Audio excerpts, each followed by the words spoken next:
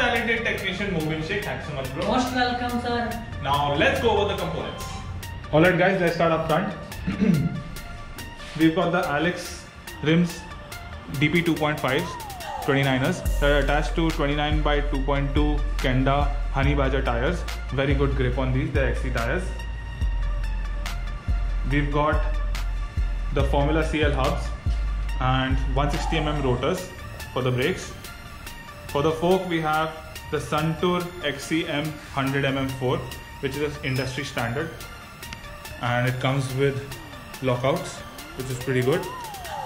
Now, moving up, we have the FSA headset that comes with a Tec stem and a Tec handlebar, which are pretty good. I like the wide handlebars, very good for maneuvering the bike.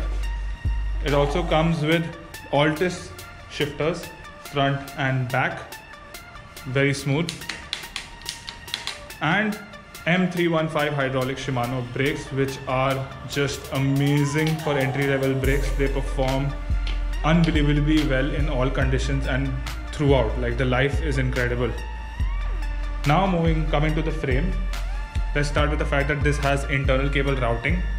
So gives the bike a really nice and clean look. Now let's look at the frame. We got the beautiful textbook blue Bianchi color along with a little bit of yellow. Gives the frame a really nice look. I really like how it looks and like the curve they've given. I love the frame, it's beautiful. Now coming to the crank, we've got a Shimano 3x crank 42, 34, 24 and it comes with an Altus front derailleur which is a very good performer as well. We've got a Formula hub, sorry bottom bracket, Formula bottom bracket which is pretty decent. Resin, we've got resin pedals, KMC chain. And now coming to my favorite part of the bike is the new Alivio 9 speed derailleur which I think is absolutely a stunner looks great and well performs even better.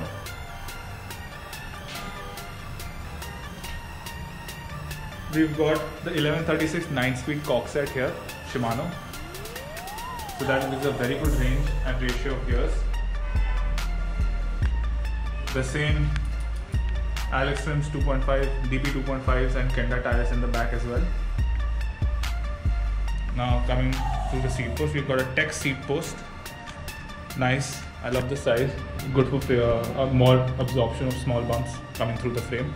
And finishing off we have a Tec Rector saddle which is also stunning and seems like a very comfortable saddle and perfect for mountain biking i think you it grips when you sit on it you're definitely not slipping down the, off the bike when you're going up climb so overall a beautiful bike and a very good package.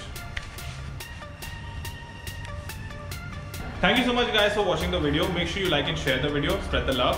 Make sure you subscribe to the channel and also hit the bell button so that you're up to date with all our content coming your way. Until the next video, bye bye.